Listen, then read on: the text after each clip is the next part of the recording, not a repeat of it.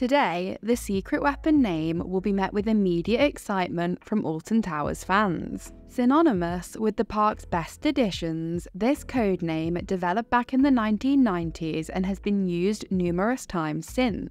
As a fan of the coasters it has spawned, I wanted to explore its origins and how this code name has developed over time. So let's begin by travelling back in time to see the very first secret weapon. In the late 1980s, John Broome, founder of Alton Towers, began talks with Schwarzkopf, whom he wanted to build the park's very first custom roller coaster. This coaster is believed to have been planned to be built next to the Corkscrew roller coaster, but unfortunately, plans fell through when the Tussauds Group bought the park. This coaster is sometimes wrongfully labelled as Secret Weapon 1. However, the concept of building large scale custom coasters at the park, which would eventually come to be known as the Secret Weapons, can sort of be traced back to this very first failed project. It wasn't until a few years later that the name would actually be first used. In 1991, the resort developed plans to replace Thunder Looper, the Schwarzkopf shuttle loop coaster which occupied the site where the Blade now resides. Work had already started on blasting out a pit on the site in 1991, with many of the resulting rocks actually being used to theme Katanga Canyon, before the resort had even decided what the development was going to be. John Wardley, development director at Alton Towers, had his eye on the Arrow Dynamics pipeline coaster prototype he drew up plans for one of these coasters themed around a secret military facility, and he gave it the codename Secret Weapon. This would later become known as Secret Weapon 1. Unfortunately, this project was put on hold until a year later,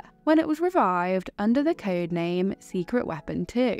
However, after riding the prototype of this coaster, Wardley decided that this coaster style was too boring, so he began to search for something else. Thankfully, this search for Secret Weapon 3 would see more success. Wardley began to search for a new coaster style and discovered a roller coaster being developed by Bolliger and Mabillard for Six Flags Great America. Wardley contacted B&M who gave him the specifications of this prototype, allowing Wardley to begin designing Secret Weapon 3. Wardley actually went over to America to ride this coaster, Batman the Ride, a very familiar invert for any Six Flags fans watching, as this coaster has now been cloned a whopping seven number of times. After experiencing the world's first B&M invert, Wardley became even more sure that he'd made the right choice. Throughout 1992, Wardley developed the coaster's layout, keen to make it both thrilling for riders and eye-catching to passers-by. With the help of Alton Towers marketing director Nick Varney, Wardley came up with the theme for Secret Weapon 3. The coaster would be themed to an alien creature, trapped beneath the ground and would be called,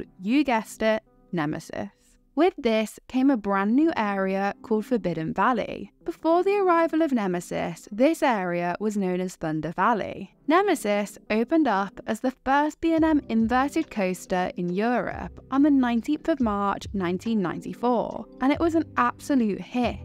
The ride experience itself was unlike anything most had ever experienced, and its unique theming did wonders to add to its appeal. To the day it closed to be retracked, Nemesis was an absolute beast, and thankfully it seems Nemesis Reborn is up to the task of maintaining the coaster's legacy. With this standard set, Alton Towers found itself receiving more success than ever before. Just a few years later, in 1997, it became clear the park was ready to bring us something new again. The area once known as Fantasy World was totally flattened, with its rides all being relocated save for the black hole. Excitement grew as it became clear big things were to come, but with a security guard patrolling the site and a deep hole being dug, it was pretty hard to guess what. Then, as a Christmas gift to fans, the very first hint was released. In the form of a Christmas card, the first promotional image for Secret Weapon 4 was released. Then, in March 1998, Oblivion opened up to much excitement, introducing the world to the sinister government facility called X Sector. Advertised as the world's first vertical drop roller coaster, this very first B&M dive coaster actually only featured an 87.5 degree drop.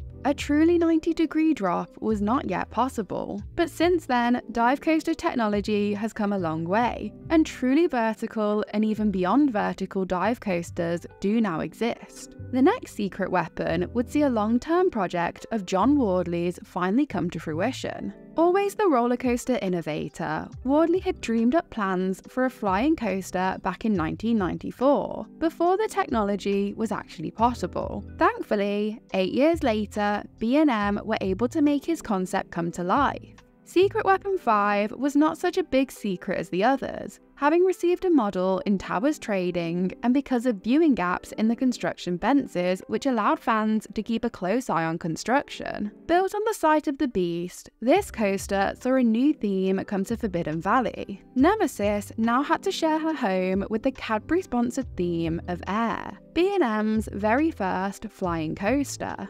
Sadly, Air lacked theming due to budget cuts, which even the Cadbury sponsorship wasn't enough to make up for. Therefore, thematically, it wasn't quite the expansion that Forbidden Valley deserves. Following Secret Weapon 5, it would actually be a whopping 8 years until the next Secret Weapon came to be. Come 2004, Alton Towers' management team had decided it was time for a rebrand. They wanted to move away from the 1990s magic branding. This saw them remove beloved features such as the use of the song in the Hall of the Mountain King and, of course, the secret weapon code name. Clearly, a misguided decision, as both have more than made a comeback since. During this time of silly decisions, the park did receive two new roller coasters, both of which didn't utilise the secret weapon code name, and to be honest, weren't really worthy of it anyway.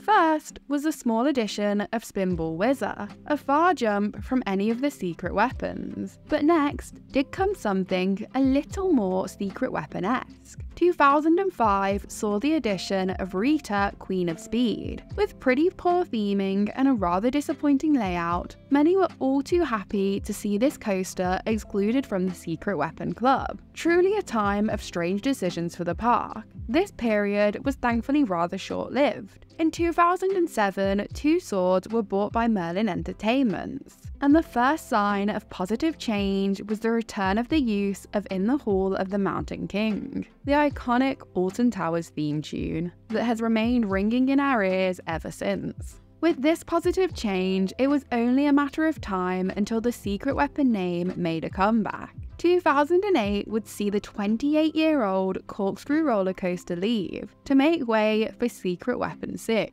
Although a difficult goodbye, the news of another secret weapon certainly helped ease the pain for Alton Towers fans. 2009 saw construction and promotion begin, which promised a world's first element on the roller coaster. Promotion also confirmed that an entire area retheme would come, with taglines telling fans to surrender in 2010 and ride the Demon of the Dark Forest. 2009 would see a truck arrive at Alton Towers carrying a mysterious load labelled Authorised Personnel Only, secret weapon inside. Another cool bit of promotion came in the way of snow carriages, built from the year's heavy snowfall. In March 2010, 13 opened as the world's first vertical 3-4 drop roller coaster. Unfortunately, many were disappointed and felt that this coaster didn't live up to its Psycho Coaster claims. Plus, the loss of Ugland for the Dark Forest was not too popular. Nevertheless, Alton Towers thankfully didn't abandon the secret weapon project here.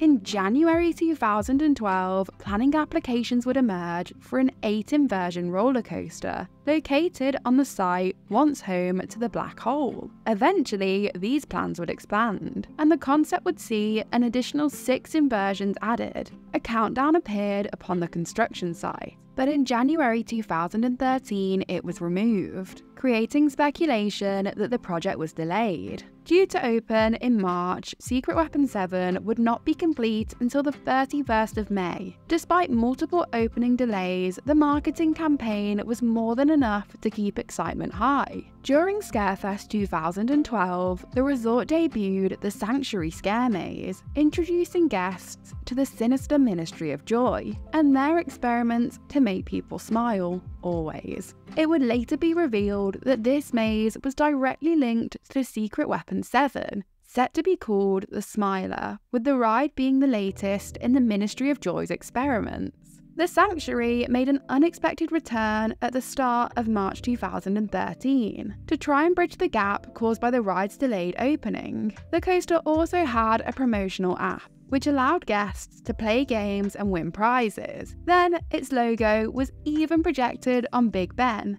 and even better, painted on a sheep. Finally, following all this, the Smiler, manufactured by Gerstlauer, opened as the world's first 14 inversion roller coaster and is still to this day the coaster with the most inversions in the world. In February 2016, Alton Towers confirmed that the end of 2015 season had seen their water ride, the Flume, close for good. This fueled ever present rumours that Secret Weapon 8 was on its way. This was soon confirmed, and by April, details were found showcasing that a new roller coaster was coming to the area once occupied by the Flume. Formal plans were submitted on the 31st of May 2016, and it was confirmed that this new coaster would be manufactured by Great Coasters International. With this, Alton Towers Resort would finally be getting a wooden roller coaster. Marketing began with the new season in March 2017, when banners were placed on the fences around the construction site and a Secret Weapon 8 page was launched on the resort's website. On National Roller Coaster Day,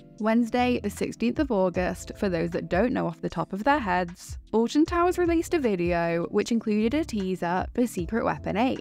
This stated that guests would be chosen at Scarefest and saw the arrival of runes to the Secret Weapon 8 webpage. A few days later, on Friday the 18th of August, the resort announced a new scare maze called The Welcoming Be Chosen. In promotion for this, the same runes could be seen, making most suspect the link. The Welcoming Be Chosen introduced a peculiar cult who had banished themselves to the woodlands hundreds of years ago and teased themes of enlightenment and rituals, with the key phrase Feed the Flames being chanted by the villagers and written in runes throughout the maze. Eagle eyed guests could also spot a mysterious effigy in one scene, which appeared to be very similar to the rising feature in the construction site next door. On Monday, the 8th of January 2018, it was revealed the coaster would be called Wicker Man, and it was advertised as the world's first roller coaster experience, fusing wood and fire.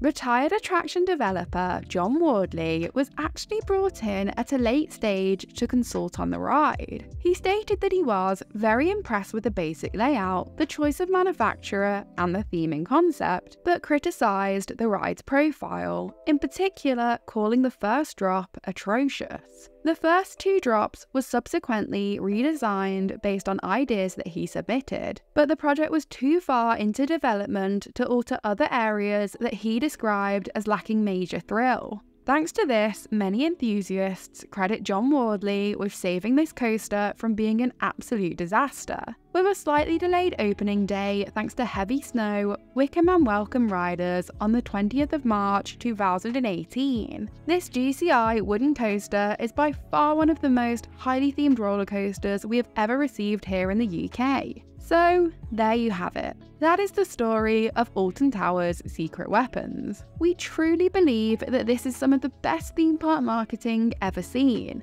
And we'd like to ask if you have any hopes or predictions for Secret Weapon 9. Do you think we'll see this project come anytime soon? Personally, whatever it is and whenever it is, I'd love to see another tie in a promotional scare maze. Would you? Thank you so much for watching. Please like, subscribe, feed the flames, and check out my links in the description and some of my other videos.